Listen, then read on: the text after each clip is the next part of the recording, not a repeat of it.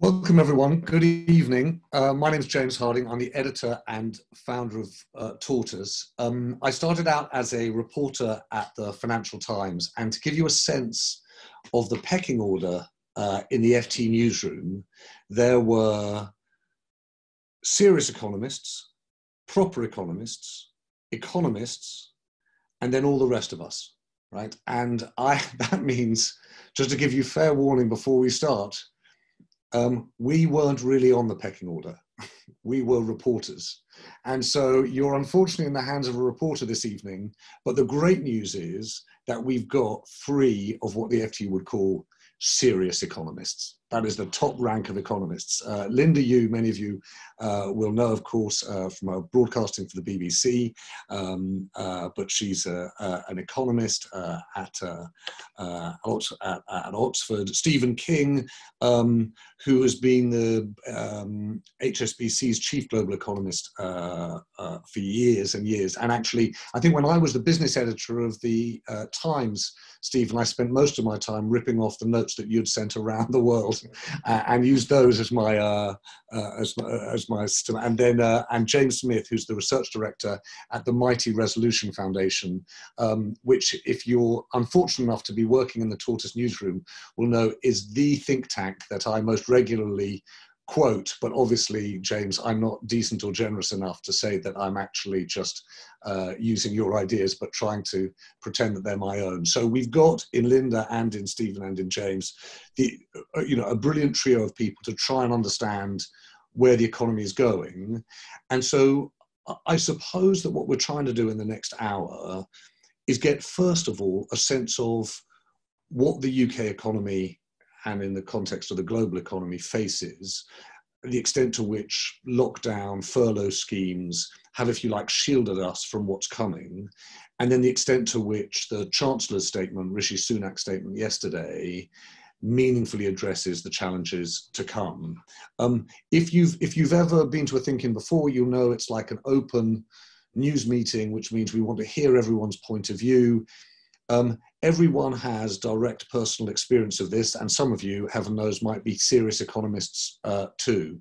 But whether you're like me or a serious economist, please do weigh in. Do so in the chat. My colleague uh, Liz Mosley, uh, as you can see, is uh, managing the chat. She's outed me as a Resolution Foundation super fan. Pretty small group, I think, but we're ardent, James, I should tell you. Um, and um, so weigh in in the chat or just put your hand up and I'll, I'll bring you in. Um, but Stephen, can we would, would you start us off? I would love to get a sort of sense from you of, of what you think's coming. Well, it's not good news. Although, first of all, I would say that I think, James, you've lulled us into a full sense of security by being far too modest about your own abilities. Makes me feel very, very nervous indeed. Um, but first things first, what is Rishi Sunak been trying to do over the last um, few months? What have every finance minister around the world been trying to do? The answer really is to build a bridge a bridge that takes us from a pre virus world to eventually a post virus world. And the reason why you want to do that is because the lockdowns associated with health protocols in themselves are incredibly destructive eco- economically. Um, and the danger of the lockdowns, of course, is that you have mass bankruptcies, you have mass unemployment, you have all the things that you would associate with maybe the Great Depression of the 1930s, or possibly even worse than that. So the reason for the, the sort of bailouts, whether it's furlough schemes or help for businesses or whatever, is really to try to build a bridge to prevent business from going bust, to prevent mass unemployment, and to eventually hope that when COVID 19 is in retreat, either because the virus has died out or because we have a vaccine or because antiviral drugs are more successful, to hope that by that stage you can kind of bring the economy out of hibernation and you can go back to a certain level of business as usual. That's the hope.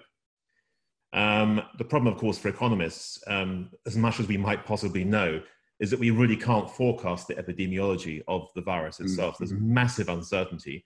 And that, of course, equally means there's massive uncertainty if you're a finance minister, because you just don't know uh, when a normal level of revenues is going to return. So, what we had earlier in the year from Sunak, I think, was something that was, in my view, pretty impressive an attempt to uh, ensure that much of this hibernation process could happen what we had yesterday, I would say, is just slightly more headline grabbing. You know, a meal yeah. for two at Wagamama on a Monday evening or something sounds impressive, but it's not going to do an awful lot for the economy. Um, certainly, there's help for the young in terms of apprenticeships and so on, which I think is welcome. Uh, but what is the, the biggest uncertainty really is what happens um, when furlough schemes themselves begin to unwind over the next three or four months. If at the same time businesses have not really gone back to what we might describe as normality. Steve, Steve um, but before, I'd like to come to the Sunak statement and, if you like, the remedies. But I'd just like to, to hear a bit more from you on what you think the economic outlook is. And, and, the reason, I suppose, is that I was quite surprised last week by Andy Haldane at the Bank of England. Yep.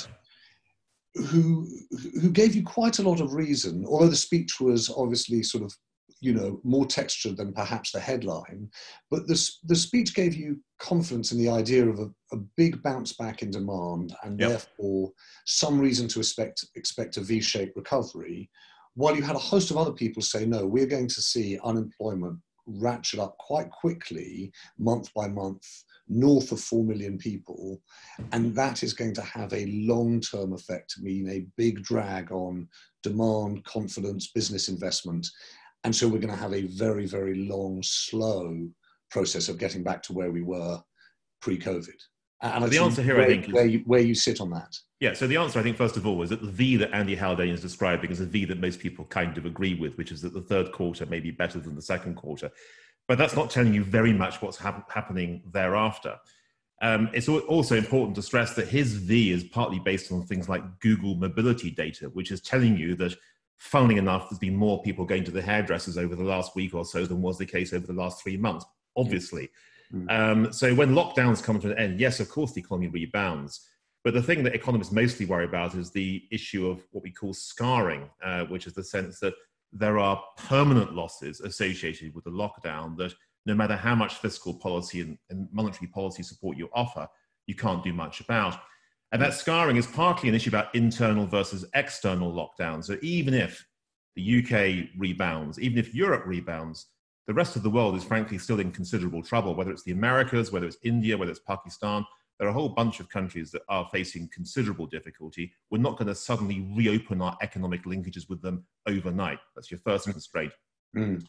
The second constraint is that a lot of investment that would have happened inevitably is going to be postponed or cancelled. That's going to eat yeah. away at growth. It's going to eat away at the capital stock. It's going to eat away at productivity growth probably over the next few years. Um, thirdly, I, I think we shouldn't lose sight of the fact that whatever's happening in Britain uh, is in danger of being eclipsed by some really big global power games, which are potentially going in the wrong direction. So when we think about America's decision to pull out of funding of the World Health Organization, and this is partly a story about Sino-US relations in the sense yeah. that somehow the WHO is is working on behalf of China rather than the US. And so we're also likely to emerge, I think, with a much more toxic relationship at the very top of the table, so to speak. Mm. And if that's also true, uh, then the world that the UK comes back into as it comes out of its own hibernation is going to be that much more difficult. Mm. Now, this is a problem for, for, for the Chancellor in one sense, because if the, the level of activity into the future is permanently lower, mm-hmm. as seems quite likely, that in turn means that he's going to be permanently facing a shortfall in terms of tax revenues. Yeah. Although it's the right thing to do currently to borrow a lot, to provide support, to allow this kind of hibernation to take place, there's a danger that at some point in the future, you know, four, five, six years down the road, uh, UK government let the debt levels are rising to the kinds of levels you only associate with wartime, whether it's the Napoleonic Wars, whether it's the First World War, whether it's the Second World War. Mm. And at that point, people are going to start saying, well, who's paying for this? Mm-hmm. Now, you, you could, in one sense, fiddle the financial system and keep interest rates very low and do it that way, which you could say is rather similar to what Japan has experienced over the course of the last 20 or 30 years. You could do it via inflation by inflating your way out of the problem, which gets rid of government debt. But it's a mm. huge penalty for savers, particularly retiring poor cash savers who would lose out significantly. But I think the most likely thing we're going to end up with, frankly, is higher taxes. Um, mm-hmm. And the lesson there is actually from the Napoleonic Wars, where William Pitt the Younger introduced income tax for the first time in 1799. And it's been with us more or less ever since. Um, it won't be income tax necessarily, but I think there'll be a, a lot of discussion about future taxes, the kinds of taxes that could be raised Because in effect, what we are doing in this country and elsewhere is borrowing from our own futures, which I think is the right thing to do. But if the futures themselves are worse off as a result of this, then mm-hmm. someone eventually has to pick up a bill for it. Stephen, thank you. Uh, I, I think the right word is thank you. But actually, when I tot up what you just said, and it's that mix of, all right, so you have scarring of the economy, high unemployment, depressed demand, um, constraints on business investment, a global picture in which the US Sino, the, the Chinese US um, tensions presumably also impact global demand and, and prospects for trade and government debt quietly ratcheting up in the background, all of that spells to me a very, very difficult, you know, a few years ahead. I, I don't know, Linda, let me come to you. I, I, don't know why I was sort of throwing this at you, but but the picture that, that I mean, the, the picture that Stephen paints is is even with all the world of uncertainty we've got, you know, hard to argue with. Is it possible to put any kind of uh, f- framework or any scale on on the length of the recession we see, on the, the numbers of people that are unemployed? How, how do you try to give a meaningful forecast for the next, I would say, let's say six to 18 months?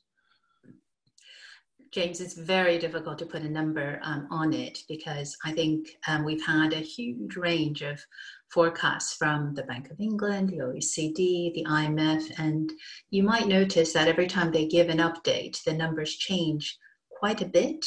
Um, and, and that's because um, it is one of the most uncertain things um, to forecast because essentially a pandemic um, of this scale we haven't seen in probably a hundred years. And so, um, you know, uh, it's when forecasters look at this, they tend to say things like a trend is a trend until it bends. It's bent. Mm-hmm. And this is why um, when we look at what shape the recovery um, might be, um, you know, there's there's kind of a very broad range of estimates. So, for instance, the OECD expects that um, should we have a second wave of COVID, that unemployment will be around 5 million. Um, and just as a reminder of the scale of that, that's 15% unemployment rate. And in the 1980s and 1990s recessions, um, unemployment was about 3 million. And now yeah. it's exceptionally painful. Mm-hmm. And that's sort of one, one, uh, one indicator of, I think, uh, where it could be. But I think what all the forecasts probably share in common is there is a there is an assumption that government can do something to stabilize uh, the recovery and potentially to help it. Mm. Um, but what government can't do um, through fiscal policy is to really, you know, work out what's going to happen with COVID, the vaccine, the second wave, multiple waves.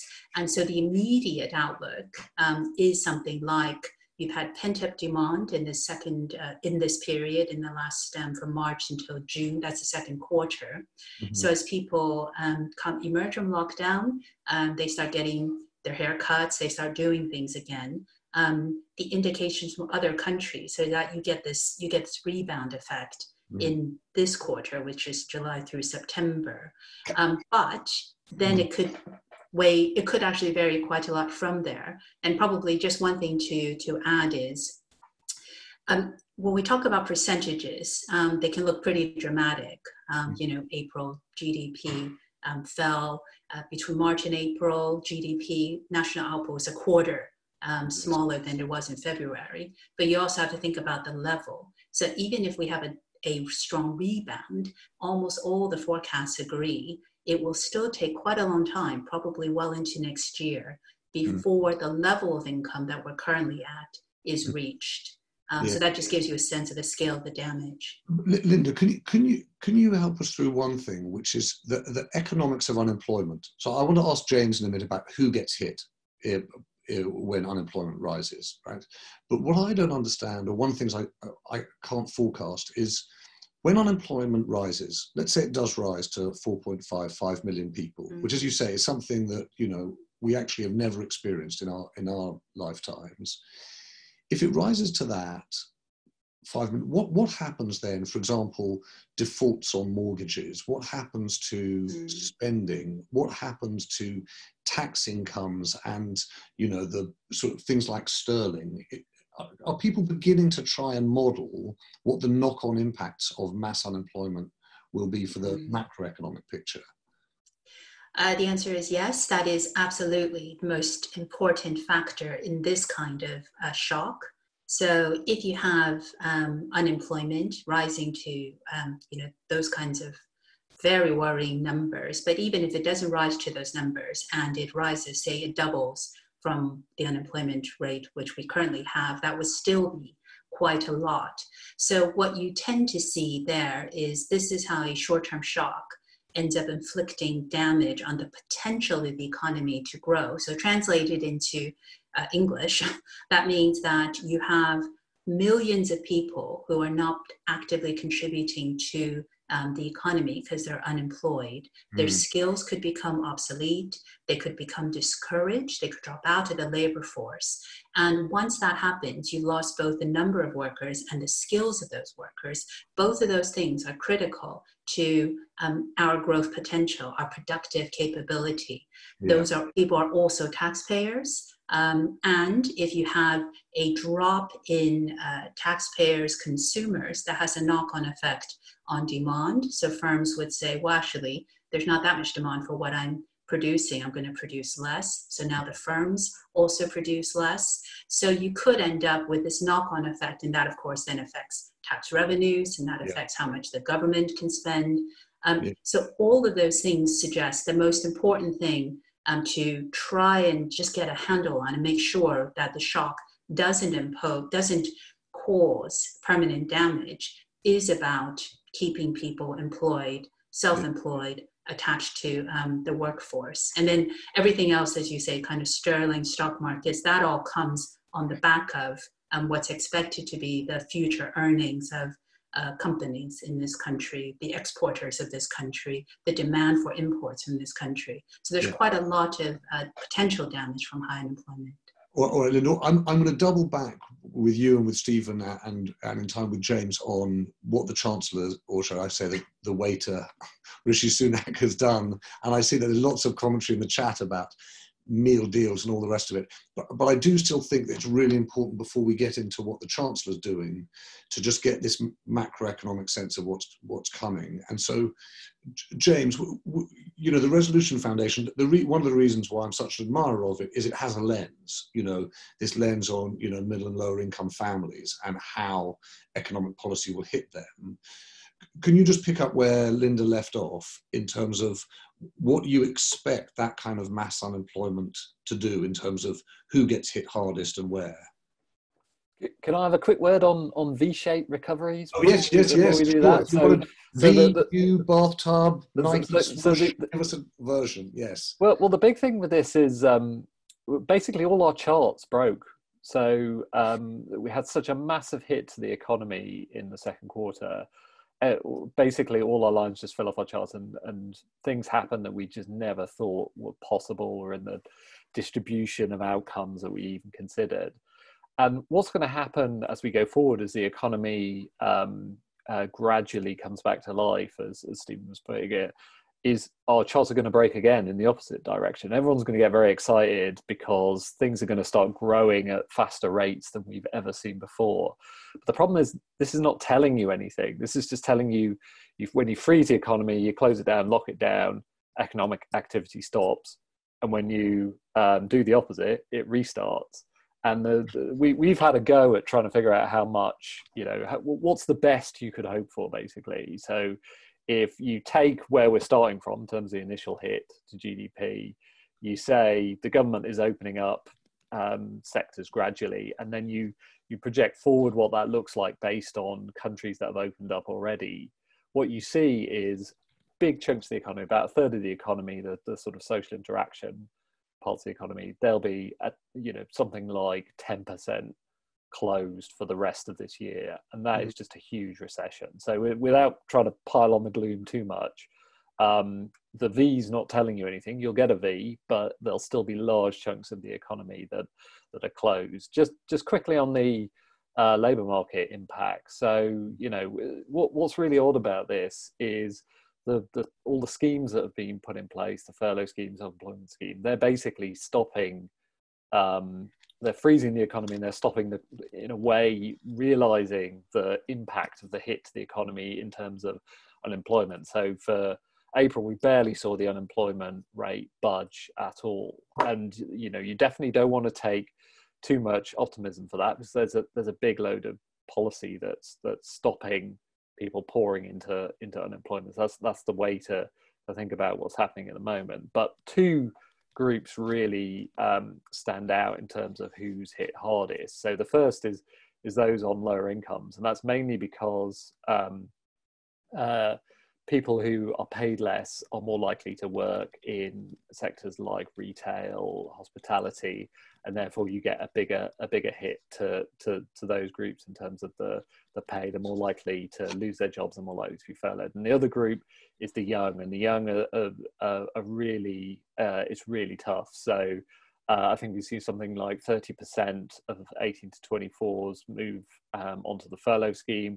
One in 10 um, saying they're losing their, they've been made redundant. So this is um, RF surveying work that we've we've done on this. Um, so it's you know there's a big impact there, and we know that this early career experience has a real scarring on you. So um, you know the combination of all these things, and we'll we'll obviously come on to that, is has got to be first order for policymakers, and they really need to respond to this if we're going to stave off a big rise in unemployment and a big rise that hurts those groups um, a heck of a lot. And James, can I, can, can, sorry, can I ask you a question?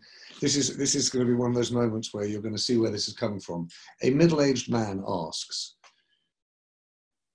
Of course, the politics around support for young people coming into the economy is politically a no-brainer. Right?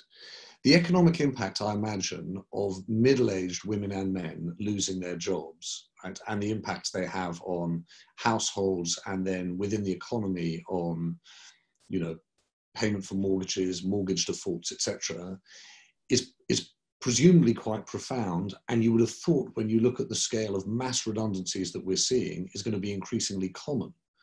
So, when you look from a from a resolution foundation point of view, I, I, can totally understand how you can look at the hospitality sector and say we need to think about younger people. But what do you think about the impact on middle-aged people, people in the middle or second half of their working lives, who are very likely to lose their jobs in this recession, and how you support them and what the what the economic impact is, not to mention the impact on them and their families. So, so for me, the biggest thing is the size of the unemployment here is still up for grabs here.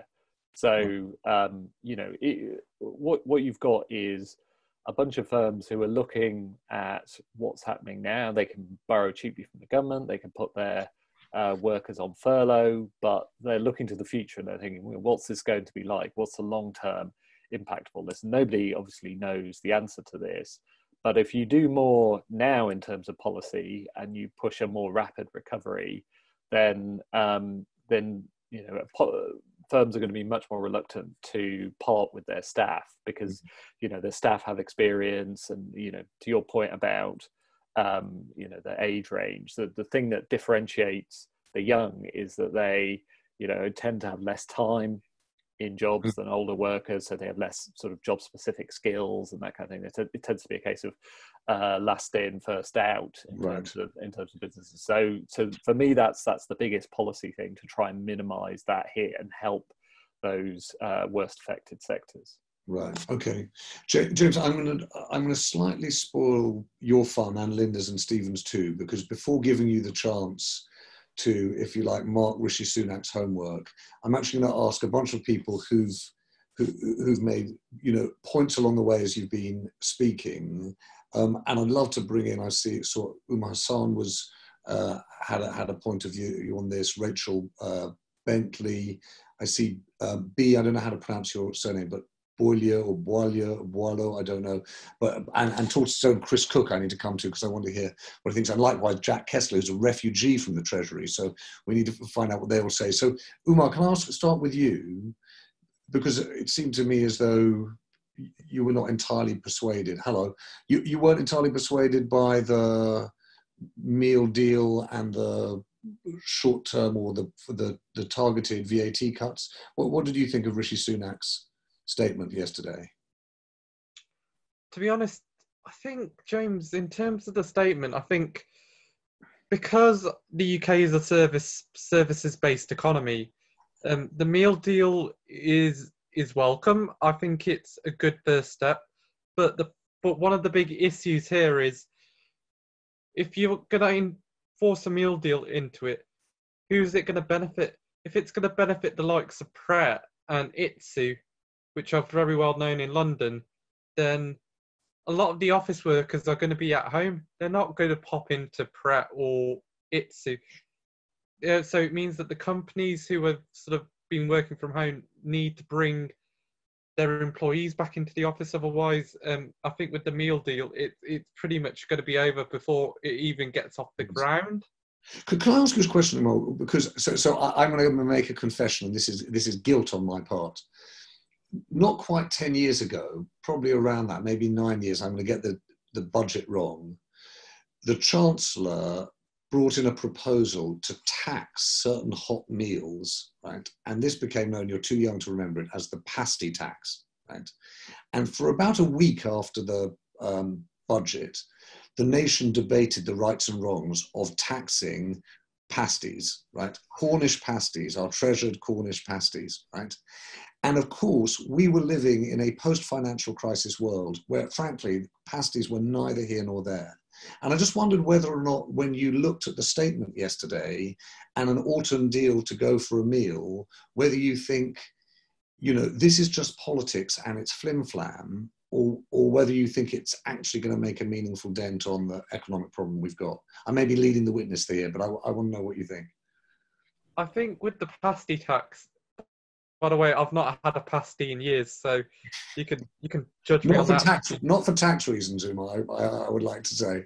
not for, not for tax reasons, but I think I think the problem here because um, I think when you're cutting VAT from twenty percent to um, five percent, it's about fifteen percent drop. So a meal, a usual meal deal is about three pounds right. for most places. So if you cut that down to five percent, then it's probably about one pound fifty to two fifty. So it's yeah. sort of it's not a big difference in terms of price, but right. it's but I think what you have to consider here is it's nothing like the pasty tax, and if we can think that we're going to spend our way out of it by eating loads of pasties or sandwiches, it, it's it's, not it's, kind of like, it's a bit of a lone fallacy because if we're trying to fight COVID by getting ourselves fit, surely what we're thinking is we should be eating our way out of it rather than getting fit out of it. So it kind of has, it's sort of like a double-edged sword, so to speak, James. I, I suspect that you and I could talk a good deal about about this, and also probably not necessarily uh, get far. I'm going to try and bring a number of other people. Umar, thanks so much. Um, B, are you there? Yep. Yep. I'm Hello. Here. How do I pronounce your surname? Um, Boiler. Boiler. There, yeah. there you are. Easier than you okay. think. So, so B, what do you think? Well, about um, the meal deal thing. I mean, I no, not just the meal deal. That sort of the Rishi Sunak statement, or broadly, what's your what's on the top of mind? Well, in general, I, I got whiplash from it, honestly. You know, the feeling that we're being encouraged, as Lindsay was saying on the chat, I think, to go out and to spend more. But mm there's no progress been you know we don't have an effective test and trace system we're going to we're being encouraged to go and sit in restaurants when it seems likely that that's going to cause an accelerated spread again and no clarity on what happens if that happens you know there's no clear plan mm. in place for that all the photos of rishi sunak in I don't, I don't know where he was actually in a restaurant he wasn't wearing a mask i can't mm. Yet I can't understand why none of the politicians promoting these plans wear masks in their photos. It seems like such an easy win, you know, yeah. for a massively health improving thing. But um, thank you, thank you. That is, is such a good point. I'm going to come to um, Chris Cook, if I might, because partly, partly also because Chris has done a piece of work for us at Tortoise. Chris is one of the uh, editors here and has been tracking. Well, well, Chris, tell, tell everyone a little bit about the corona shocker data we've been tracking and what it tells us. Sure. So, so the um, we've got through a charity called SIB, which is a regeneration charity. We've got data on um, effectively outgoings from bank accounts um, held by consumers at UK, a group of UK high street banks, and it's a very big, broad data set. So um, in normal times, it would account for something like five percent of household spending would be would be picked up by it. So it's a decent wedge um, of uh, of cash, and it's about it's got coverage at least I, can't remember of at least about fifteen percent of every ward, right? So we've got fifteen percent of the people in every ward. Um, the um, the thing we can see, we saw really clearly was obviously when lockdown came in, spending dropped everywhere by about forty percent. You know, uniformly for the first few weeks. One of the very unusual things was that there was no, there were no seasons anymore. There were no specialisms in towns. Every town more or less became the same same thing. The Yeah. shop, lots of people living near them did okay. The shops that were further away from people did worse. Um, the thing that's really come through since then, though, is that um, there's this, this golden rule, right? Which is that places where you have to travel, which rely on people traveling to them, are still suffering. So the, there are so on average, we think that spending is now only about five percent down on cards and through direct out of bank accounts compared to uh, the same week of last year.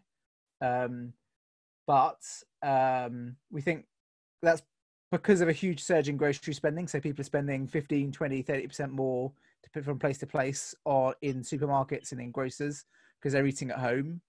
There's a there's an offsetting bigger drop in um, in absolute terms in in um, in non grocery spending. You can see it in London that that Oxford Street is down by about forty something percent. The ward with Oxford Street in it, but um, the ward with Amazon in it is up by one hundred thirty five percent. Right, so the, the um, you can see all the like we're we're only down five percent now, but there are enormous regional and and sectoral changes that that that disguises.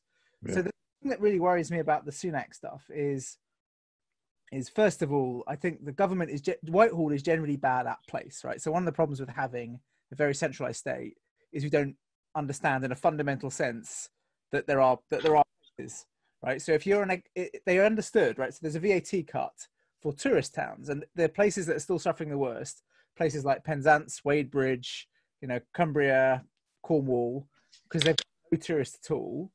They're sort of 40, 50% down, lots of towns there. And what, what I think the government is quite bad at is it's understood that it needs to have a, a strategy for tourism, right? Tourism.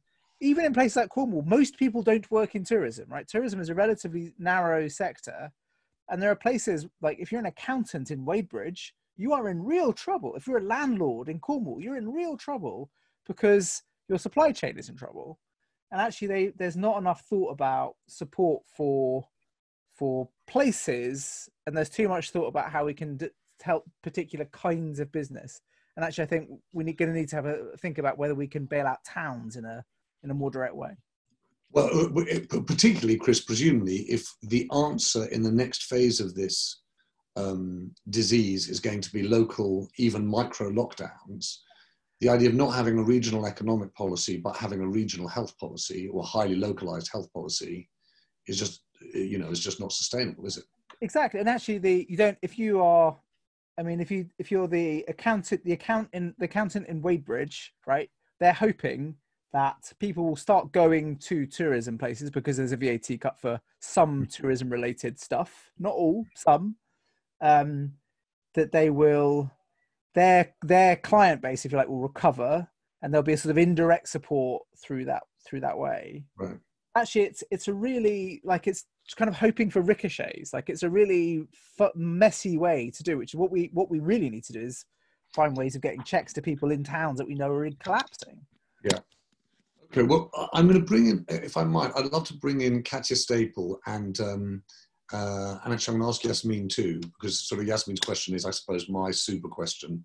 Um, but Katya, you, you've you've raised the point. Hello there. You you you raised the point about furloughing and whether sort of furloughing disguises trouble to come. Yes, exactly. So, I mean, that's the thing I worry about because just building on the point that Chris has made, I mean, sort of the, the spikes, like the, the different sectors have reacted very differently. And, you know, some are doing well or better and some are some are doing much worse and, and will be doing worse in time to come, so hospitality and all of these things. But with the furlough scheme, we're just sort of keeping it all sort of flying as it was or sort of holding on to the world as it was before and just just buying time. So my big worry is that yet again we're just losing time. I mean there's like the furlough scheme is effectively buying time where you could think of okay what does the economy look like in the yeah. future? What is a shock? But what is a structural change to the economy and the way people live? And how do we move people towards these spikes and make sure they work and or position themselves in the sectors that that work so i'm just i'm just worried we're losing time yet again and just sort of the government is sticking their head in the sand trying to well, well you, I, I expect you're going to be able to track this in that there's a 45 day consultation period that that companies, I think big companies, need to engage in. And so you will be able to see when redundancy statements are made by the big companies and how they relate to the end of furloughing support, i.e., end of July, end of August, end of September. So I think you will be will be able to track it. I'm going to come back to Stephen on this in a moment. But before I do, Yasmin, do you want to um, weigh in? Yeah, sure. Yeah. Um, I think it's interesting to ask the question around whether people are going to stay in the UK, especially um, since the UK is a country, I mean, London in particular is a country with uh, a city with loads of migrants, um, or, or, at least economic migrants. I'm certainly what people would consider an economic migrant, someone who moved to the UK for work opportunities and so on, um, and have less kind of like allegiance to the the concept of the country for the sake of it, right? Um, my mm. parents also moved uh, to where I grew up, Australia, for economic opportunity, and so there's this question of um, why would people stay if um, especially in a world where there's like a lot more remote opportunity. I don't actually, for the work that I do, I don't need to be in London. I don't need to pay London rent.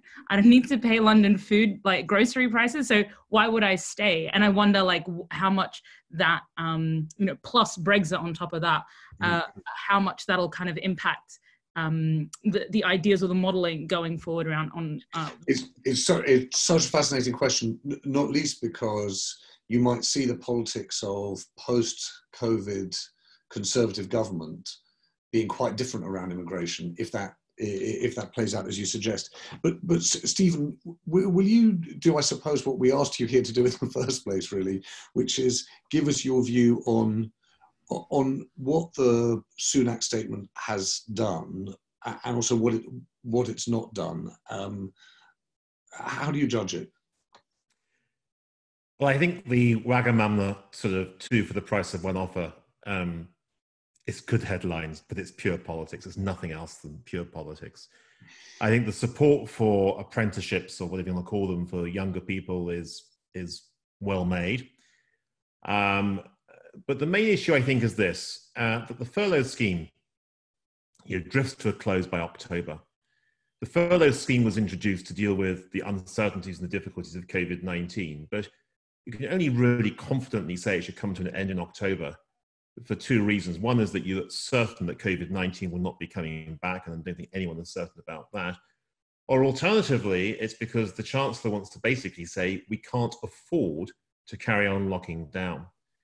And this is a sort of very uncomfortable trade off because most of us have argued up until now that the lockdown is absolutely essential to get the disease mm. under control once they've got it under control, then everything goes back to normal. But if it doesn't go back to normal, if like the Spanish flu 100 years ago, there's a second wave or a third wave, um, then I think in one sense what Rishi Sunak is doing is saying we can't afford to pay for a similar lockdown for a second or third wave. And that gets you into really difficult moral and political territory, frankly.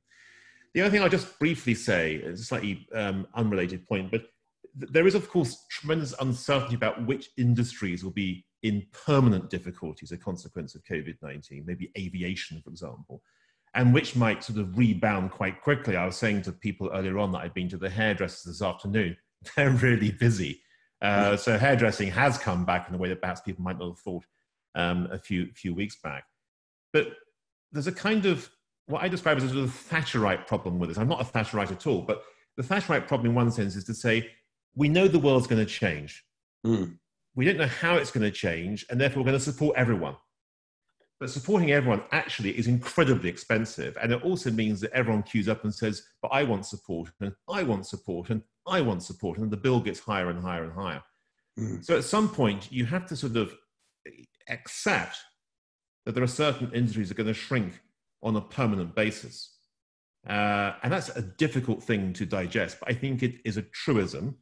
Yeah. Uh, the uncertainty of which industries, that's still very great, but no one's going to be very surprised if in a year or two years' time, the aviation industry has shrunk on a permanent basis. Indeed, some people might say it's a good thing in terms of its impact on climate change. Mm-hmm.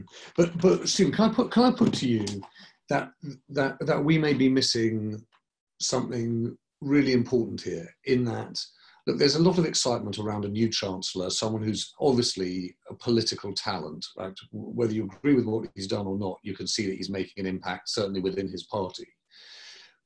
But the actual decisions that he's making, when it comes to the scale of intervention and the problems that he's encountering, seem to me to be quite small, and that quite often his policy has played catch up with his rhetoric right? So if you look back at the very beginning, his first budget didn't really deal with coronavirus, then had to play catch up, launched his coronavirus business interruption loans scheme. They don't seem to work. It takes about a month to get to the bounce back loans. And, and now we're looking at something where we may be debating restaurants and apprenticeships.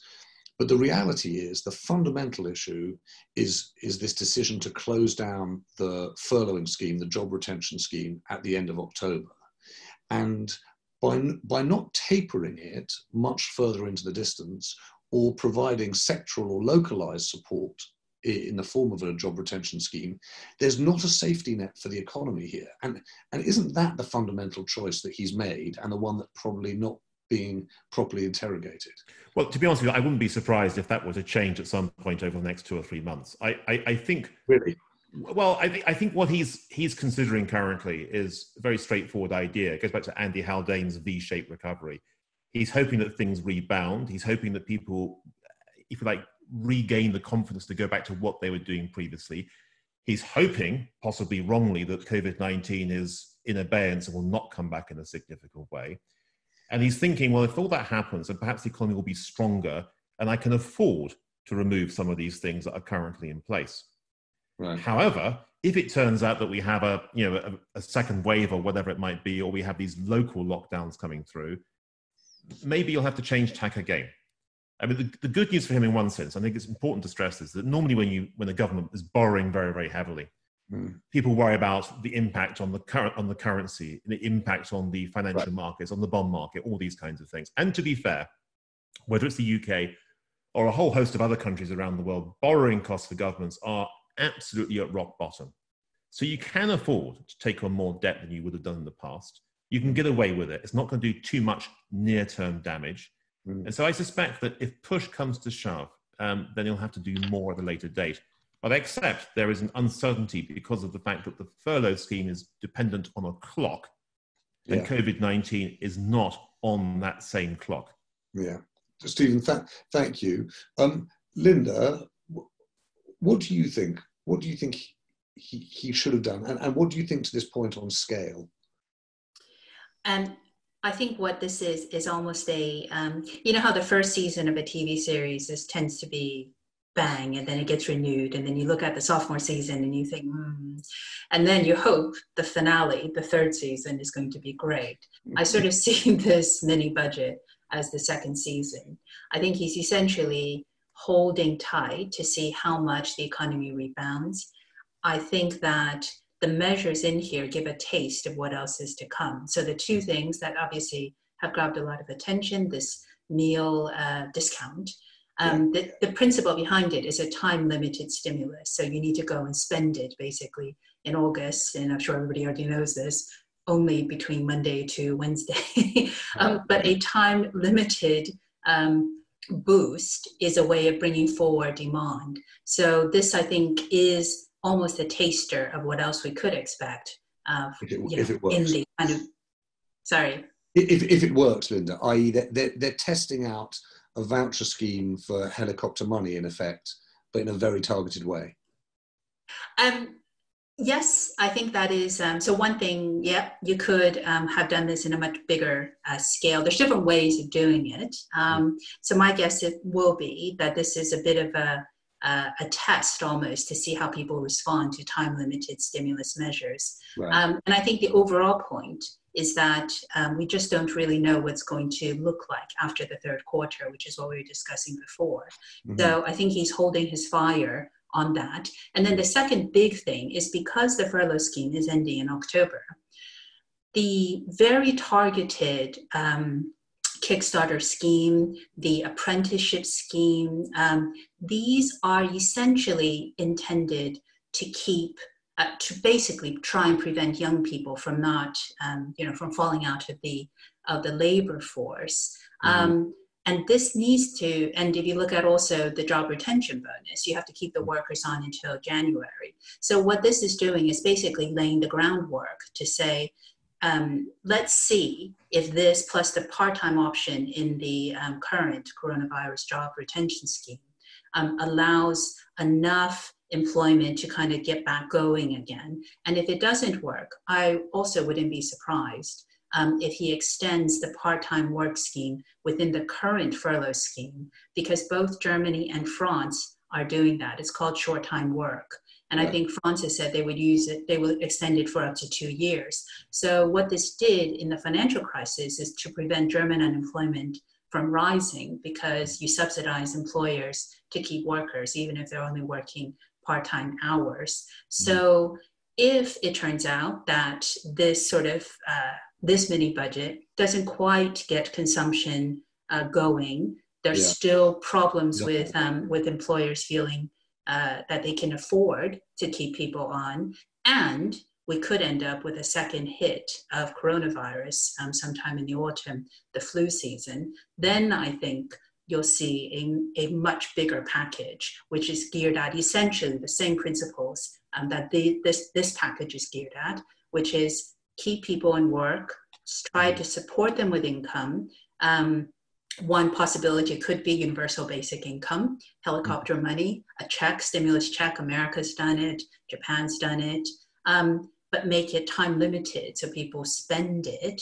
Um, and there's different ways of doing that, including saying there'll be a tax rise in a year. Um, and then, of course, the kind of the other uh, big part of this is whether or not global demand also rebounds. Because when you think about an economy, there's four sources, four engines really. Exports tend to help but not in a global pandemic in a reliable way. Um, consumption, and that wholly depends on people being in work, being confident enough to consume. Firms have to feel confident enough to invest and to mm-hmm. hire and to produce. And then there's the government. So mm-hmm. if you look at all four of those sectors, I suspect um, he's looking to see how the first three do before he wheels he kind of rolls out the big guns in the autumn statement with the spending review and the integrated review and all of the things that need to kind of come in a big package. So when he announces it, he can talk about medium term debt sustainability as well. Okay, okay. Well, that's massive, Linda, that's massively helpful. Gives us at least a framework for how this year will, will pan out. I, I want to bring in, if I can, Jack Kessler, my colleague, as I said, because uh, he joined us from the Treasury, and I see Mark Hayward's got his hand up, so I'll come to you in a moment, Mark. But but Jack, I, I wanted to ask you because you know um, I'm a journalist, so I'm, I'm prone to liking great historical analogies and big statements. FDR and the New Deal, if you're a Treasury official or Mandarin or recovering Treasury Mandarin, that's the way I'm going to treat you, Jack. Um, do you do you look at things like new, the New Deal and think that's just rhetorical flourish, and actually there's no place for a big public works program, or do you think there is something to that? How do you think the Treasury is thinking about all this?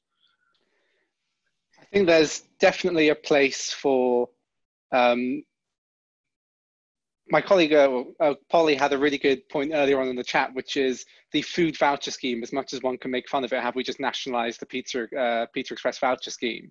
Um, but um, is it hitting target voters? And if you look at all the marketing around sort of Rishi Sunak PLC, yeah. um, I think that the Treasury is an immensely political department, uh, and um, they will do uh, what they think is right for keeping Red Wall seats. Um, I think there's a lot of personal risk for um, Sunak in two ways. One, for being so openly the face of all the spending leads the question, the point I made is, is, is it going to be the Rishi Sunak personal allowance reduction? Is he going to put his, his, name to that? And the second point I would just want to make is um, if there is a second wave, um, or maybe just a longer first wave, and it comes because people have been going out to restaurants and they've been told to go out to restaurants by Rishi Sunak and the government. What does that do for him personally? What does that do for the government? And obviously, what does it do for the economic recovery? It's immensely risky everywhere you look. Yeah, yeah. I, I, th- I, think it's really interesting. I mean, the politics is interesting too, to have someone who's so early in Boris Johnson's premiership is being you know, quite deliberately positioned as the prime minister in waiting. There's no, there's no shortage of political risk there, too. So it's it's very interesting. Mark Hayward, I see you've got your hand up. Mark, you there? Yes, hello. Yeah, sorry, can you hear me? Yeah, very well. Yeah, um, I've just been listening to um, Linda using that phrase helicopter money. And um, of course, we're living through a time when there's been quantitative easing as well going on for years and years. And now we've got the Chancellor's furlough scheme, uh, which is subsidising firms to keep labour on. Um, it, it's a matter of time before we start to hear more dissenting voices in this big debate starting to murmur the word inflation. Um, mm. if, if, it weren't a virus we were fighting, we would certainly have heard that a lot more by now, that, based on the, you know, the fairly simple idea that what's going on is there's been a stimulus given to demand, and yet we, have got a big supply side problem. And that's the big difference, of course, between this problem and what happened in 2008 with the banking crisis. That was a, a collapse of demand. Whereas now, with people not working and firms closing down and so on, we've, we've got a collapse of production at the same time. Um, I, I, just think we, we, you don't have to dig very far to already find one or two people are saying, you know, these policies are going to lead to inflation if the chancellor keeps them up mm-hmm. remarkably, given that inflation is so uh, exceptionally low and has been for a long time. Um, my question, therefore, is: uh, Is it safe to disregard those voices? Mm. Uh, and if not, should they be marginalised, and, and can that be done? Because I think they could become a very severe constraint. Yeah. On yeah. what the council, particularly in this country, is able to do in the in the forthcoming months. Um, Mark, thank you. Um, uh, James, I'm going to ask. That's a difficult question, so I'm going to to director James Smith. James, what, what, do you think? Is there an inflation risk that we're underestimating? And, and will you also just pick up on the point that Stephen made about, if not just higher prices, the future for higher taxes? Yeah, I, so, so, I'm I'm pretty relaxed about inflation risk, I have to say, and I, the reason is this: so if inflation does start going up, and I, I don't see any uh, way that could be transmitted in a persistent way to the economy, particularly if there's a really large rise in unemployment. But if there is, we're in an economy that has supply constraints, and you know we're putting money into bits of it. You might get localized inflation that could become persistent. We know what we're doing with that. We're raising interest rates, and we can head that off pretty easily. The the risk on the other side is the one we can't deal with. It's you are in a uh, you come into this crisis with a very weak growth, um, very poor living standards, um, decade, basically. So living standards have stagnated for basically a decade. And this is the crisis we didn't want. We don't have the policy tools to deal with it with interest rates very low.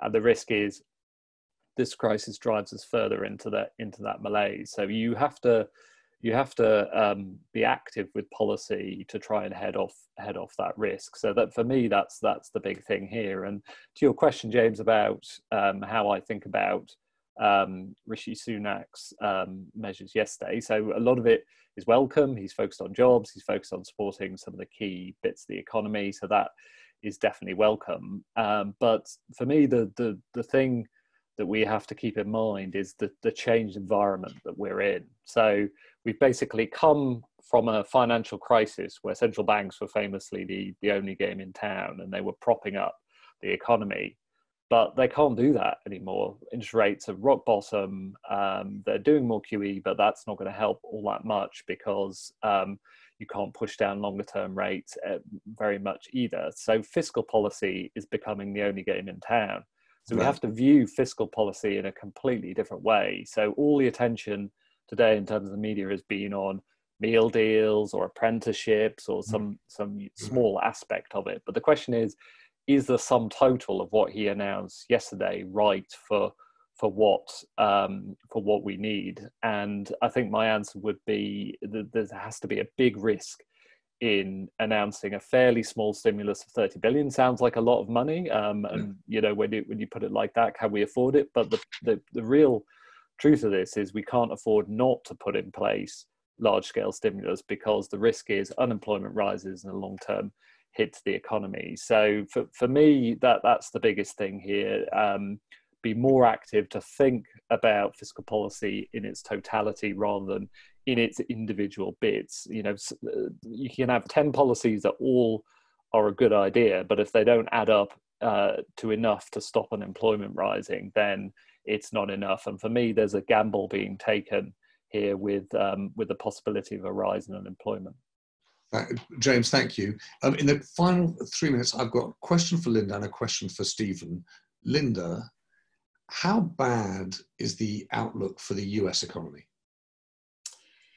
Uh, it's not good because the second wave that we're discussing hypothetically here has already hit them. So the United States, um, all the indications are um, that they are going to have to go into another period um, of lockdown. And I think the expectation is that's going to have a, a pretty significant um, knock on effect in terms of the economy. But one thing I would stress, given how important we uh, unemployment is, and this is why we've been talking about it, is that the US labor market tends to be, um, it's much more flexible. So in Europe, generally speaking, and this is just generally speaking, when unemployment rises, it tends to stay high for some time. In the United States, unemployment tends to go back to uh, the kind of uh, the long-term, you know, rate. So even, and we'll see. I mean, the current jobless claims as well as the unemployment rate has been declining um, in the US. There's a bit of lag in these figures. So I expect that it, they'll probably rise again because of the second um, lockdown. But just the speed with which unemployment falls um, as activity picks up, um, this is a feature of the United States, which is also why the longer term potential for the United States is still pretty good. They've got other problems, um, you know, opiate crisis, labor force participation rates dropping. But generally speaking, um, I would say the kind of hysteresis scarring issue tends to be slightly less uh, for the United States. But okay. right now, um, not too good, James, in terms of uh, the lockdown. But we can learn lessons because I think what you see in the United States is um, what can happen uh, when you have, um, you know, uh, an- another uh, without contact, without contact okay. tracing, yeah. without mask wearing, without social distancing. All of these things are contributing to another wave of lockdown in the US. Right. I, I see that um, Tobin has messaged in from Napa, and they're going back to a modified lockdown today. Well, and Stephen, here's my here's my final question for you are the markets right or are they crazy? I imagine 17 years chief economist of the HS, at HSBC, you would go in there and give your predictions and then the markets would go off and do something else entirely.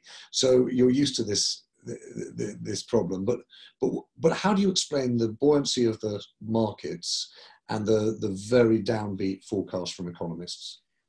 Of course, this is with the benefit of hindsight, given what markets have done over the last two or three months. Yeah. But I think the answer is kind of simple that we've had a huge amount of monetary stimulus, in particular from central banks. Um, and we found over the course of the last few years, when you do this, it tends to flow into risky financial assets, whether it's equities or corporate bonds or whatever might be the case. And of course, these have been completely bombed out earlier in the year. They right. then rebounded from the end of March um, incredibly strongly. But I think there's something else which is important here, which is that this all relates to listed companies, big companies being bailed out through monetary policy. If you're a small or medium sized enterprise not on the stock market, you're in a fundamentally different position. I think a lot of the job losses we're going to see aren't necessarily from the big names that get the newspaper headlines. It's from all sorts of little companies up and down the country, whether it's the US or the UK or Europe. Um, and they're not, they're not going to come back. They're going to go and they're going to be gone, and the jobs will be lost as well. So I think what you have, and this is a sort of a big sort of um, income and wealth inequality story, frankly. Uh, those who've already got financial assets have done pretty well out of this crisis so far.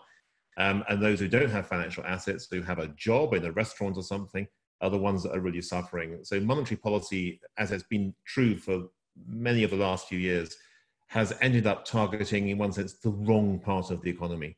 Mm-hmm. I think huge problem for the months and quarters ahead.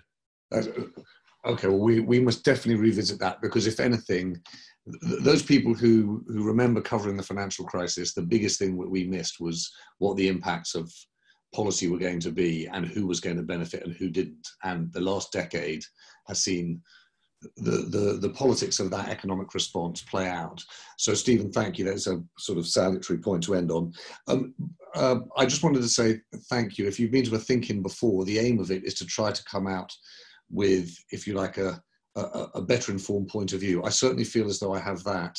Um, I have to say that I come away, if anything, um, much more worried, much more confirmed by the the, the, the, the, laying on of risks and problems in the economy, um, starting with the demand problem we had, but then moving into the scarring that we talked about through unemployment, the scale of unemployment we talked about, the, the knock-on impacts of unemployment then within the economy that, that Linda talked about, and the specific ways they hit certain people, and as Chris said, certain certain places all, all, of that makes me think, uh, and sorry to be so blunt about it, that what we saw yesterday was a very political answer to a very big economic problem.